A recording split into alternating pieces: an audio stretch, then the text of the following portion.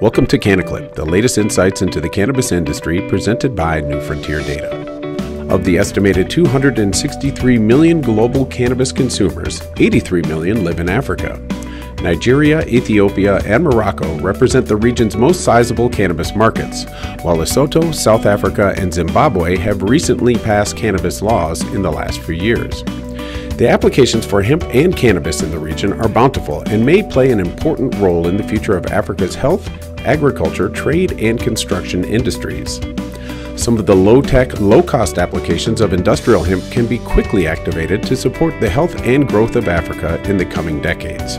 For additional insights into hemp and cannabis operations in Africa, visit newfrontierdata.com and download the Africa Regional Hemp and Cannabis Report. And to keep up with our research, sign up for our weekly Cannabit at cannabisinsight.com. Don't forget to follow us on Twitter at New Frontier Data.